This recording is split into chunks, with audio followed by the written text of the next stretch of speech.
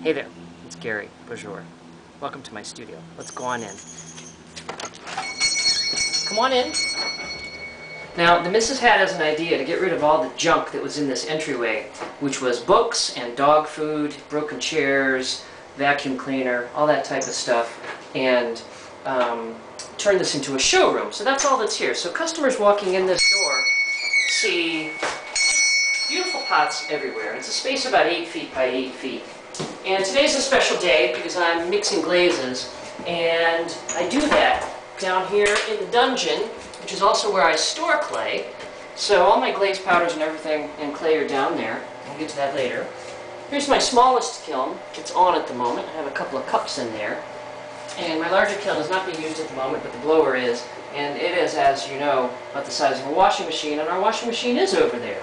So over here is where I do all of my glazing, and that's where the glaze buckets are, and I have to remix about eight of them today. So we step on down here, and there's still a little bit more pots, of course, on display. And that's my garage sale desk, and you can see once again, I have the prettiest view around. The river and the woods are out here, and some of our clean laundry is drying in the sun. And I actually do my work here.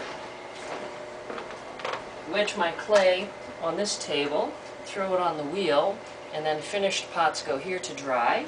And then down over here, we're fixing a drawer, um, multi-purpose room. So down over here, the rower's out at the moment. I did row earlier, but you can see I've got the skylight, something's on display, pretty crowded. There's my light box. And then up top is the museum. Pots from years gone by.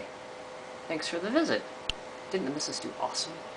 What a good videographer.